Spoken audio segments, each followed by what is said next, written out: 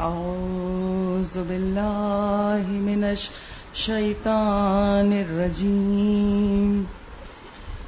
بسم الله الرحمن الرحيم. الحمد لله رب العالمين. باري الخلائق أجمعين. فاطر السماوات والأرضين والصلاة والسلام على أشرف الأولين والآخرين خاتم النبيين شفيع المذنبين أبي القاسم محمد.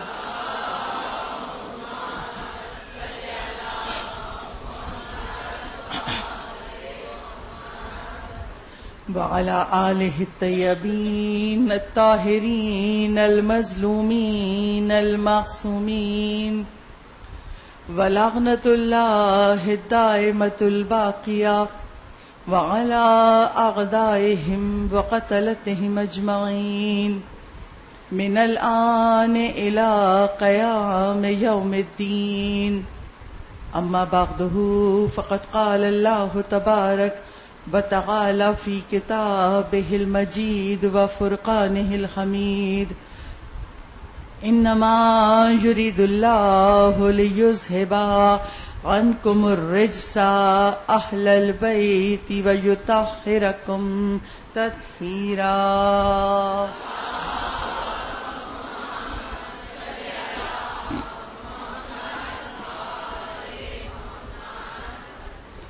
السلام على الحسين وعلى علي ابن الحسين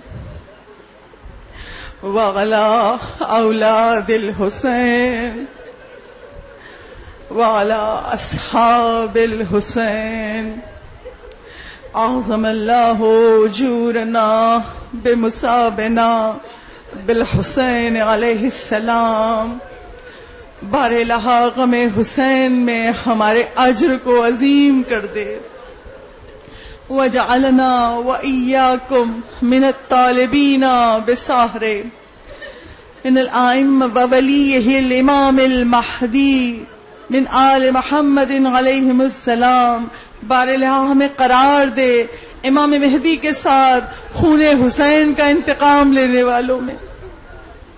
ازدار و روز عاشور ہے۔ اس اشرا اول میں حسین ابن علی کے صدقے میں ہم سورہ رحمان پہ گفتگو ہماری ہو رہی تھی۔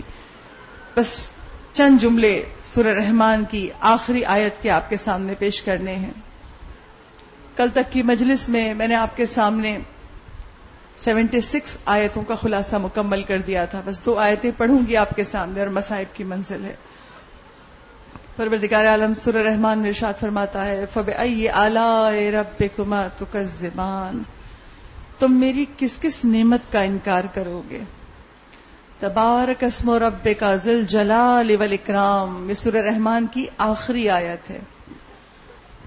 تبار قسم رب کا ذل جلال والاکرام، پروردگار عالم ارشاد فرماتا ہے، بابرکت ہے اور لازوال ہے تمہارے رب کا نام۔ اور پھر وہ وہ رب ہے جو صاحب ذوالجلال بھی ہے، صاحب اکرام بھی ہے۔ کیا معنی ہیں اس کے؟ یعنی پروردگار عالم نے جب اس سورہ رحمان کا تذکرہ کیا تو اپنی صفت سے کیا، اپنے اسم سے کیا۔ الرحمان اور سورہ کا اختتام بھی کیا تو اپنی ہی صفت سے کیا، اپنے ہی نام سے کیا۔ یزل جلال کرام تو خدا اس آیت میں کہہ رہا ہے، تمہارے پروردگار کا نام بابرکت ہے اور لا زوال ہے، کبھی مٹنے والا نہیں ہے تمہارے خدا کا نام۔ اور یہ صاحب جلال بھی ہے، عظمت و جلال بھی ہے اور صاحب اکرام بھی ہے۔ اس کی تفسیر میں علماء تفسیر بیان کرتے ایک مرتبہ رسول ختمی مرتبہ احمد مشتبہ، محمد مصطفیٰ۔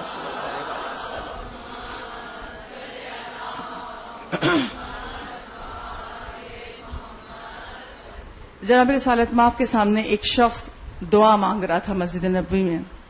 اور بار بار پکار رہا تھا، یا زل جلال ولیکرام یا زل جلال ولیکرام اس طرح کہہ کہ خدا کو مخاطب کر رہا تھا۔ جناب رسالت ماپ نے کہا، تو نے اس نام سے پکارا ہے خدا کو، اب تو جو مانگے گا قبول ہو جائے گا۔ کیونکہ روایت میں ملتا ہے کہ اس نام میں اسم اعظم یہ یا صاحب ذلجلال ولیکرام جو ہے، یہ خدا کا وہ بعد عظمت و جلالت اسم ہے۔ کہ اس کو، اس کے نام سے، اس ذریعے سے خدا کو جب پکارا جائے اور دعا کی جائے، تو دعا فوراً قبول ہوتی ہے۔ تو یہ ہے اس آیت کے اس کا ظاہری ترجمہ۔ اور اس آیت کا باطن کیا ہے؟ جب ایک پوچھنے والے نے امام محمد باقر علیہ السلاۃ وسلام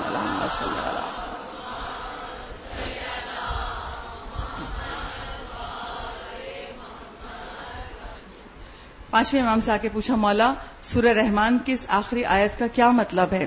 صاحب زلجلال والاکرام ہے، پروردگار۔ تو امام باقر ارشاد فرماتے ہیں، اس کا باطن یہ ہے کہ اللہ کی عظمت، اللہ کی جلالت اگر دیکھنا ہے تو خدا نے ہماری ذات سے اس کا اظہار کیا ہے۔ ہم ہیں صاحب جلالت، ہم ہیں صاحب کرامت، پروردگار نے اپنی صفات کا اظہار ہم آئمہ کی ذات سے کیا ہے۔ اور خدا نے ہمارے ذریعے ہی مومنین کو اطاعت کی سعادت بخشی ہے۔ تو یعنی باطن میں یازل جلال والاکرام سے مراد آئمہ معصومین ہے اور اس کو اگر عملی شکل میں دیکھنا ہے تو کربلا کے میدان میں دیکھیے۔ جس طرح سے مولا حسین بار بار خود ارشاد فرما رہے تھے، دین کی حقانیت بتا رہے تھے، خود کو پہچانوا رہے تھے۔ اور ایسا لگ رہا تھا کہ جیسے ارض کربلا کی فضا کہہ رہی ہو فب ائی رب کما تو تم کس کس نعمت کا انکار کرو گے؟ سب سے بڑی نعمت محمد و علیہ محمد۔ کربلا کے میدان میں حسین ابن علی نعمت عظیم تھے، امامت نعمت ہے، ولایت نعمت ہے۔ حسین ابن علی وقت کے امام تھے اور کربلا کے میدان میں نعمت الہی کو جھٹلایا جا رہا تھا۔ اور مولا بار بار اپنا تعارف پیش کرتے تھے۔ مجھے پہچانو کر نہیں پہچانتے، میں نواسا رسول ہوں۔ میں تمہارے رسول کا نواسا ہوں، میں زہرا کا لال ہوں۔ میں علی کا فرزند ہوں، مگر نعمت الہی کو جھٹلایا جا رہا تھا۔ اور خدا جو کہہ رہا ہے نا سورہ رحمان میں کہ میں صاحب عظمت و جلال ہوں، میں صاحب اکرام ہوں، تو کربلا کے میدان میں کیا عظمت و جلالت تھی مولا حسین کی؟ کہاں بہتر اور کہاں لاکھوں کا لشکر؟ عباس کی نگاہوں پر صبح عاشور سے عصر عاشور تک عباس کی نگاہوں کا جلال تھا مولا حسین کی شخصیت کی عظمت تھی۔ وہ لشکر یزید ایک دم حملہ نہیں کر سکا کہ ختم کر دے، چند لوگ تو ہیں۔ یہ عظمت و جلالت تھی حسین کی۔ خدا سور رحمان میں کہہ رہے بابرکت ہے تمہارے رب کا نام۔ اللہ زوال ہے، ہمیشہ رہے گا۔ بس پروردگار عالم نے اپنی اس صفت کا اظہار بھی حسین ابن علی کے ذریعے میدان کربلا میں کر دیا، جنہیں یزید مٹانا چاہ رہا تھا۔ میں صحرا میں، اس مختل میں ختم کر دوں گا حسین کی داستان۔ مگر آج کربت زمین اس عرض کے کونے کونے پر، اس کائنات کے ذرے ذرے پر نام حسین گونج رہا ہے۔ ہر آنکھ ہے جو حسین کے غم میں رو رہی ہے۔ ہر دل ہے جو حسین کے غم میں دھڑک رہا ہے۔ یہ چھوٹے چھوٹے بچوں کا نکلنا، یہ بزرگوں کا نکلنا، یہ ہمارے جوانوں کا علم و تابوت لے کے نکلنا اعلان کر رہا ہے۔ وہ پروردگار عالم بھی لازوال ہے اور نام حسین کو بھی خدا نے لازوال کر دیا ہے۔ جب تک خدا کی خدائی قائم رہے گی، حسین کی عظمت، حسین کا نام، حسین کا غم باقی رہے گا۔ خدا ازائے حسینی کی حفاظت کرے۔ پروردگار عالم، دشمنان ازا کو، دشمنان دین کو اللہ نیز تو نابود کر دے۔ ازاداروں یہ روز عاشور ہمیں یاد دلاتا ہے۔ کبھی حق کا ساتھ نہ چھوڑنا۔ حسین نے اس طرح سر بلند کر دیا کربلا کی زمین پہ حق کو۔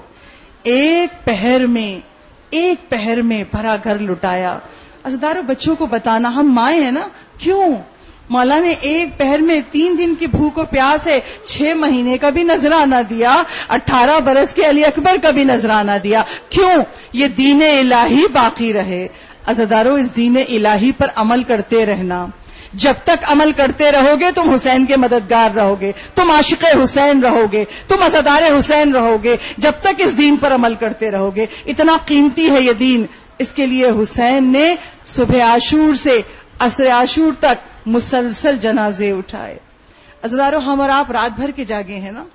ہم دیکھ رہے ہیں اپنے ازدار جوانوں کو، جس طرح علم و تابوت کی تیاری، جلوس کی تیاری میں کہتے کہ صبح سے لگے رات سے لگے اگر سوچو عصر عاشور روز عاشور، مولا کتنے تھکے ہوئے تھے۔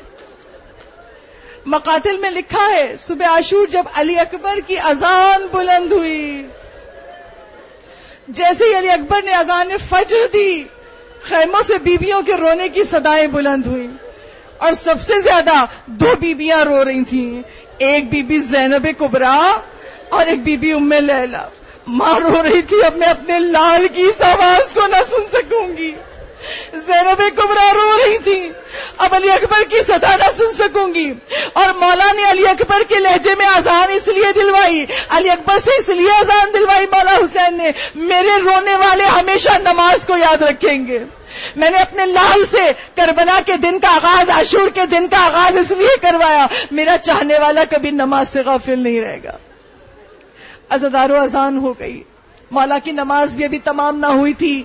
کہ لشکر عزیز سے عمر سعد ملعون نے لشکر عزیز کو مخاطب کر کے کہا، دیکھو حسین کی طرف پہلا تیر میں چلا رہا ہوں۔ جنگ کا آغاز ہو گیا۔ مولا لاشوں پہ لاشیں اٹھا کے لا رہے ہیں۔ میں سوچتی ہوں، جو تین دن کا بھوکا ہو، جو تین دن کا پیاسا ہو ازادار خدا نہ کرے، کسی کے گھر میں ایک جنازہ اٹھ جائے۔ صبح سے شام تک عزیز و رشتہ دار بھی مددگار ہو مگر انسان تھک جاتا ہے۔ مگر جس نے ایک پہر میں پیاسے ہوتے ہوئے، بھوکے ہوتے ہوئے، ارے بہتر کے لاشیں ہیں۔ پورا کنبا پورا کنبا تہ ہو گیا۔ اٹھارہ برس کے لال کا لاشا بھی اٹھا لائے حسین۔ اور محمد کا لاشا بھی اٹھا لائے حسین۔ قاسم کے لاش کے ٹکڑے بھی اٹھا لائے حسین۔ ارے عباس کے کٹے شانوں کو بھی اٹھا لائے حسین۔ جب سب شہید ہو گئے۔ اب علی اصغر بھی نہیں ہے جھولے میں۔ اب کوئی مرد نہیں بچا سوائے مولا حسین کے اور سید سجاد کے۔ اقا حسین نے سدایا استغاثہ بلند کی، حل من ناصر ینصرنا. مولا آپ کی سوا سے غربت پہ ہماری جان قربان۔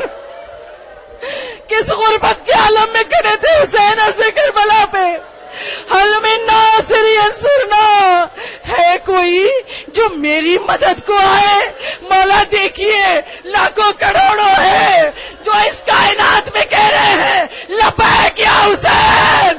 مولا اس وقت ہم موجود نہ تھے، ورنہ آپ کی مدد کو آتے جیسے ہی مولا کی آواز استغاثہ بلند ہوئی، سید سجاد کے خیمے سے رونے کی صدا بلند ہوئی۔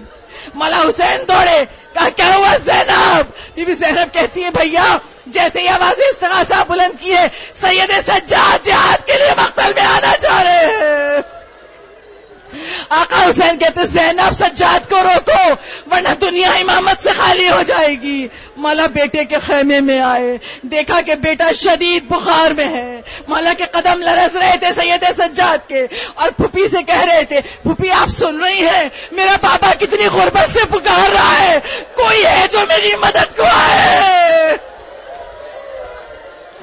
پھپھی مجھے تلوار دے دیجیے اصا دے دیجیے، میں بابا کی مدد کراؤں گا۔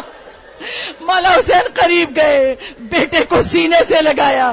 ایک بار کی پھر سید سجاد کو غش آ گیا۔ بیٹے کو چٹائی پہ لٹا دیا زمین پر۔ اور مولا مولا حسین کے سینے میں باپ کا دل ہے نا؟ بیٹا بیمار ہو، شدید بخار میں ہو، تو اسداروں کیا کام ہوتا ہے ہمدردی کا؟ کہ اس کو پانی پلا دیا جائے۔ مگر آئے میرا والا حسین، اتنے غریب ہے آج بیمار بیٹے کو دو گھوٹ پانی نہیں پلا سکتے۔ سید سجاد پہ خشیداری ہوئی۔ مولا حسین نے بیمار بیٹے کا بازو پکڑا اور سورہ الحمد پڑھنا شروع کیا۔ شفا کے لیے مولا سورہ الحمد پڑھتے جاتے تھے، آنکھوں سے آنسو بہتے جاتے تھے۔ میرا دل چاہتا ہے میں ہاتھ جوڑ کے مولا کی بارگاہ میں کہوں۔ مولا، ابھی تو آپ سلامت ہے نا؟ بیمار پر شفا کے لیے الحمد پڑھ رہے ہیں، مگر مولا آپ کے بعد اسی بیمار کی پش سے بستر کھینچا جائے گا۔ کسی بیمار کو ہاتھ کڑیاں بیڑیاں پہنائی جائیں گی۔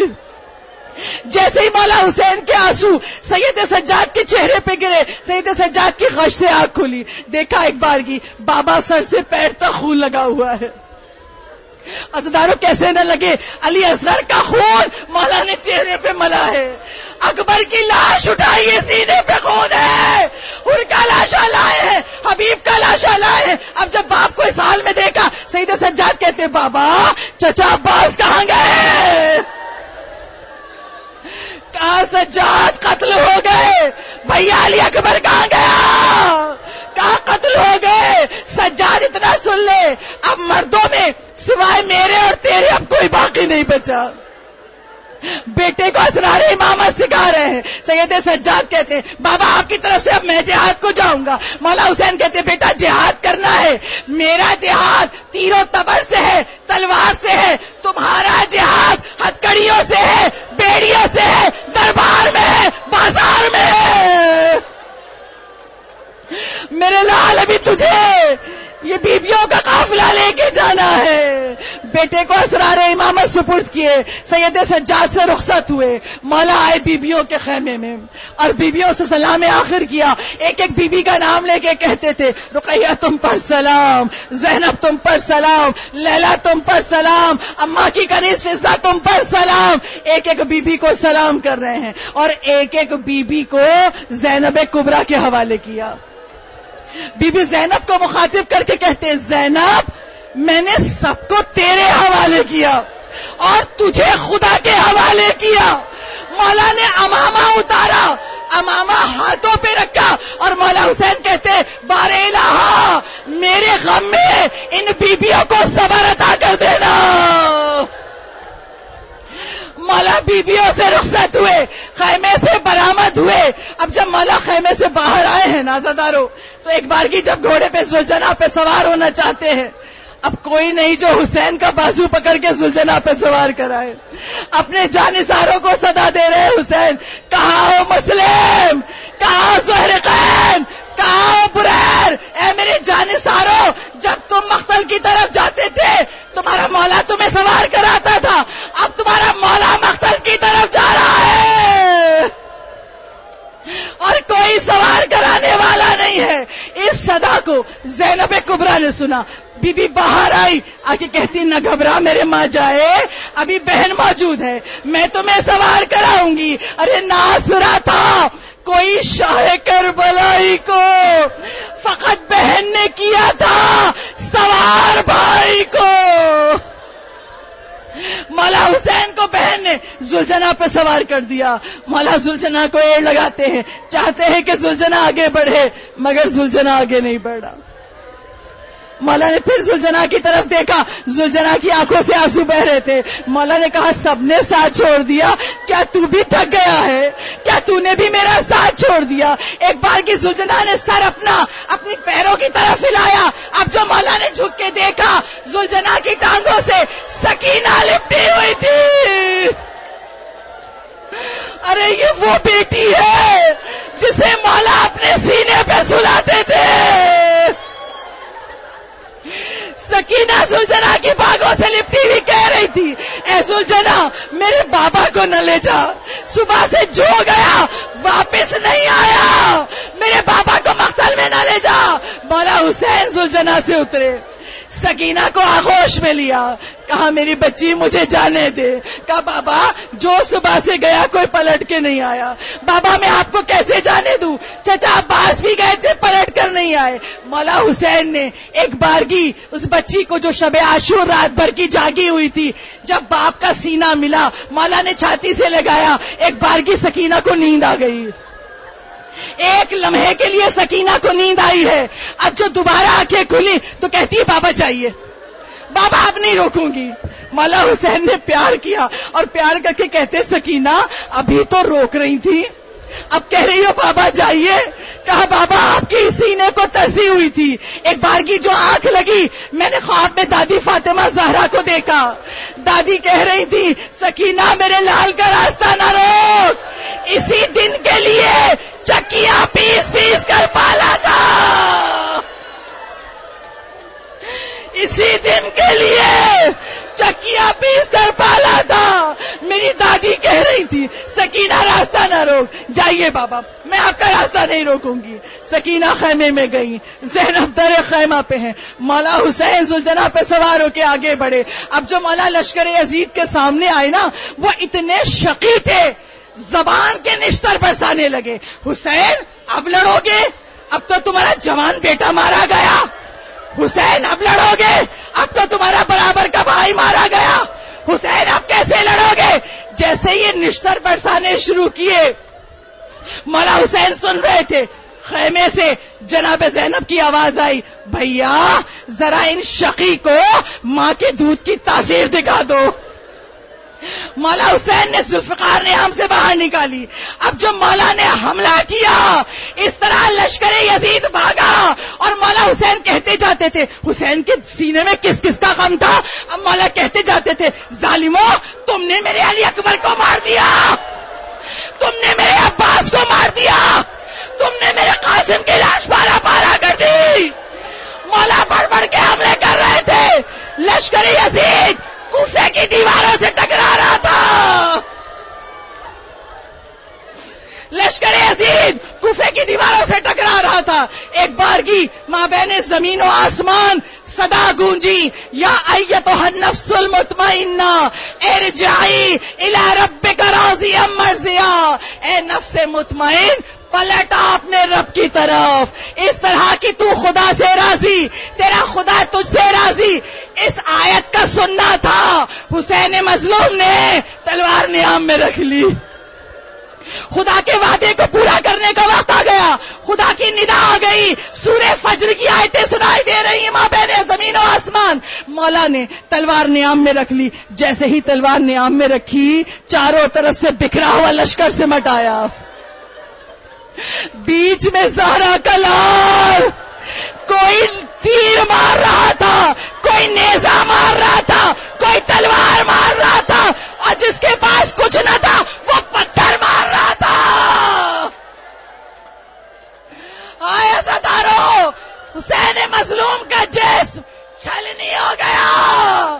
مولا گھوڑے پہ سوار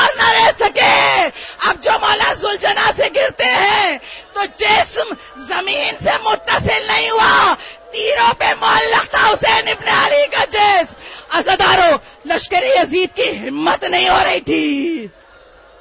اتنا جلال تھا، اتنی حیبت تھی مولا حسین کی کہ اب قریب آنے کی ہمت نہیں ہو رہی۔ دیکھیں حسین زندہ ہے یا نہیں؟ ایک بار کی شمر ملاؤن کہتا ہے، میں بتاتا ہوں، حسین زندہ ہے یا نہیں؟ ایک بار کی صدا دی، چلو خیموں کو لوٹے۔ اس صدا کا سننا تھا، مولا حسین جو تیروں سے چل رہی تھے کوہنیوں کے بل پہ مولا کڑے ہوئے۔ خبردار، سر کو اٹھایا۔ خبردار، خیموں کی طرف نہ جانا۔ خبردار، خیموں کی طرف نہ جانا۔ ابھی میں زندہ ہوں۔ آئے زدارو، شمرے ملعون۔ کند خنجر لے کے حسین مظلوم کی طرف بڑھا۔ ازدارو مولا کا سر سجدے میں پوشت پر شمر ہے۔